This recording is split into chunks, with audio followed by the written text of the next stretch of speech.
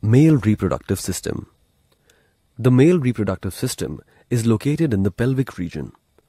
It consists of a pair of testes, accessory ducts, accessory glands, and external genitalia.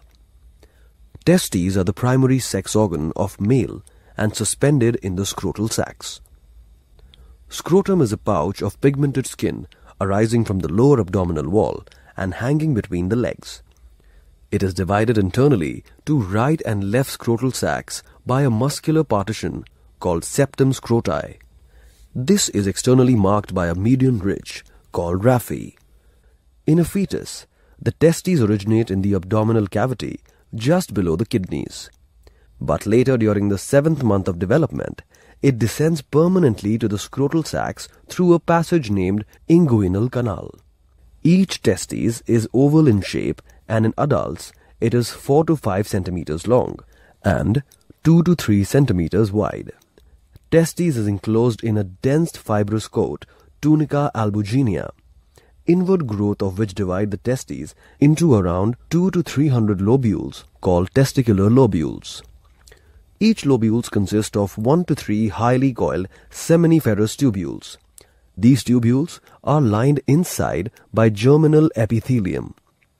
Germinal epithelium consists of two type of cells, cuboidal cells called spermatogonia and pyramidal cells called Sertoli cells or nurse cells. Spermatogonia or the sperm mother cells produce sperms. Sertoli cells aid in the process of spermatogenesis by providing nutrition to the developing sperms. The interstitial spaces between the seminiferous tubules contain small groups of large polygonal cells termed Leydig cells or interstitial cells. They secrete male hormones called androgens, especially testosterone.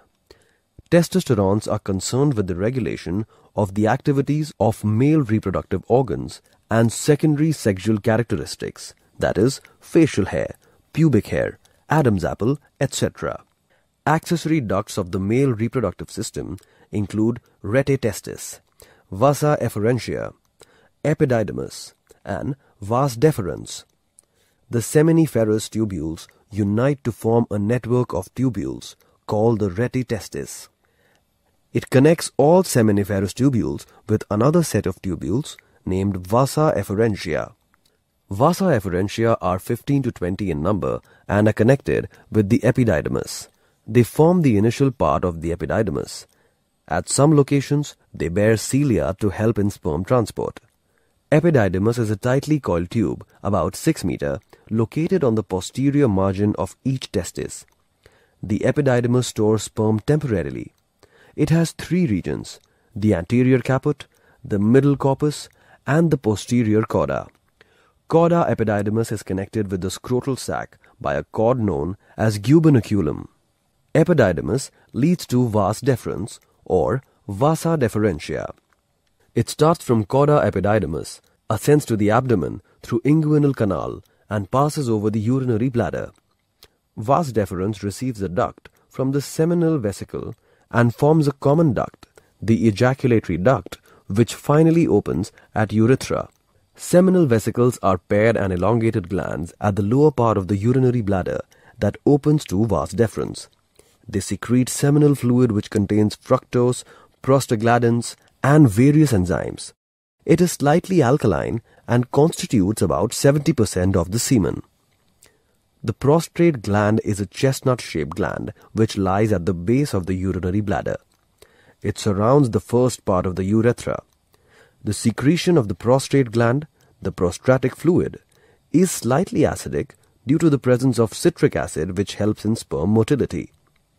This secretion is also collected by a vas deferens along with the sperms and is discharged to the urethra.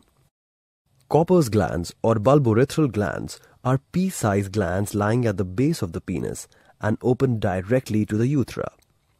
Its alkaline secretion acts as a lubricant for penis and also neutralizes the acidity of any urine traces left in the urethra. This secretion is produced during sexual excitation.